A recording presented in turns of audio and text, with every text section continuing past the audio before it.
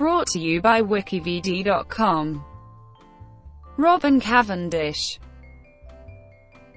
Robin Francis Cavendish MBE was a British advocate for the disabled medical aid developer, and one of the longest-lived responauts in Britain.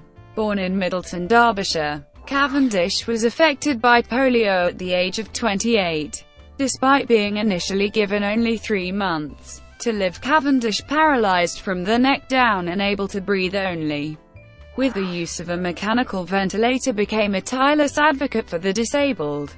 Instrumental in organizing the first records of the number of responauts in Britain and helping to develop numerous devices to provide independence to the paralyzed. Early life and career Robin Francis Cavendish was born 12 March 1930 in Middleton, Derbyshire, England. He attended Winchester College. He attended Royal Military Academy Sandhurst and was commissioned into the 60th Rifles of the King's Royal Rifle Corps, spending seven years in the army eventually attaining the rank of captain. He left the army, to join Thomson Smithers in starting up a tea-broking business in Africa. In 1957, he married Diana Blacker and returned to Kenya. They had one son Jonathan Cavendish. Polio diagnosis and subsequent career in December 1958 while in Kenya Cavendish became ill with polio. Paralyzed from the neck down.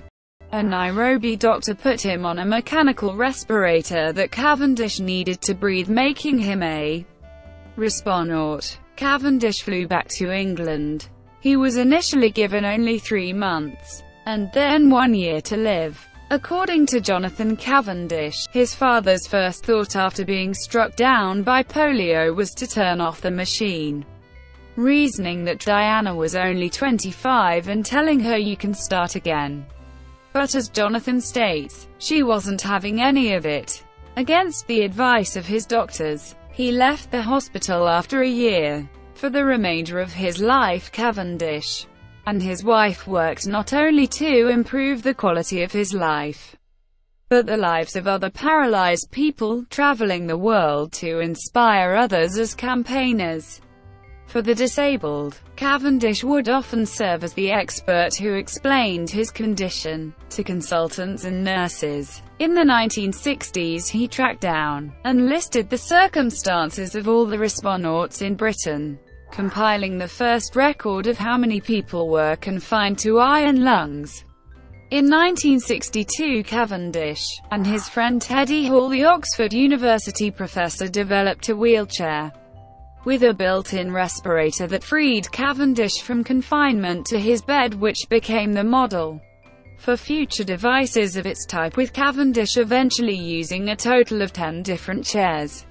Determined that mobility should be available to other polio victims, Cavendish raised money from the Ernest Kleinwort Charitable Trust for the first dozen chairs, and eventually persuaded the then British Department of Health to fund a series of chairs, which were manufactured by Teddy Hall's company Littlemore Scientific Engineering. Using himself as a guinea pig Cavendish tested and helped to market equipment that improved the quality of life of disabled people. Most notable among these was the possum which Cavendish developed with scientists at Stoke Mandeville Hospital and which allowed users to use the telephone turn on a television or adjust a home's central heating with only a left-to-right movement of the head. Others included a lightweight ventilator that ran on batteries and a modified aircraft seat fitted with electronic aids. Littlemore received government funding to make another 40 chair and ventilator sets.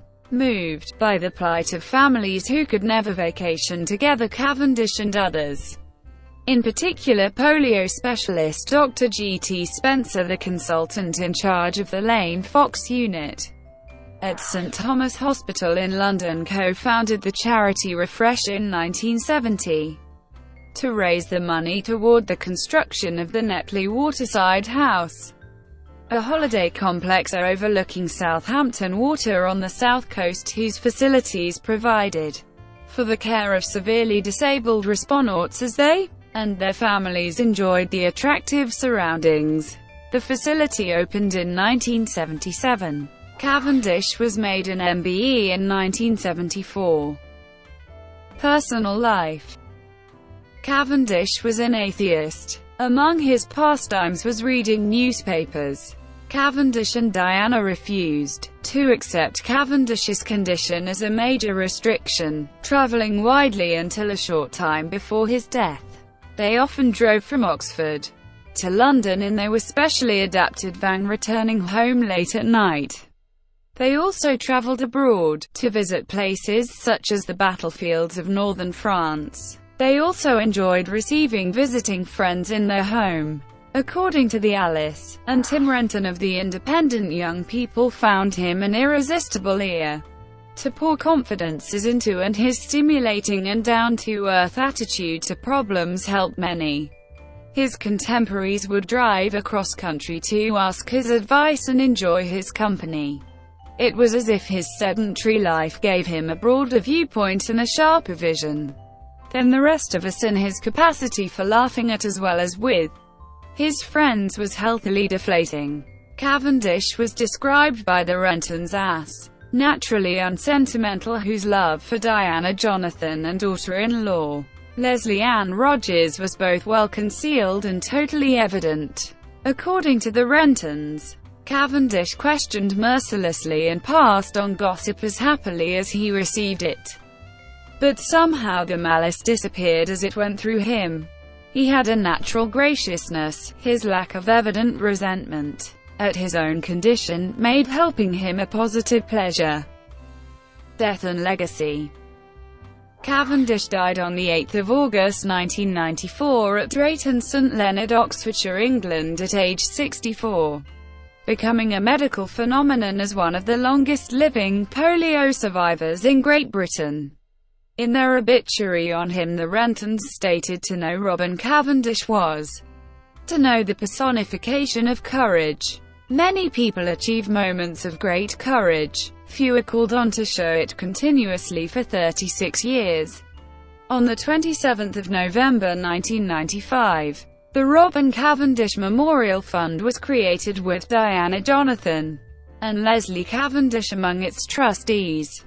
Its purpose was to provide grants to individuals and organizations for the purpose of advancing the health and saving the lives of people with disabilities. In 2014 it was merged with a charity that Robin and Diana Cavendish previously founded Refresh into the Cavendish Spencer Trust, which provides holiday and respite breaks for people with severe disability due to neurological or neuromuscular disorders. The trust is named for Cavendish and his close friend Geoffrey Spencer, who aided Cavendish in his advocacy for the disabled. In media Cavendish's son Jonathan a film producer who runs the production company The Imaginarium Studios, with actor, director Andy Serkis commissioned writer William Nicholson to write a screenplay on his father's life and work. The film Breathe is directed by Serkis, and opens October 2017. In the film, Cavendish is portrayed by Andrew Garfield. Brought to you by Wikividi.com. Would you like to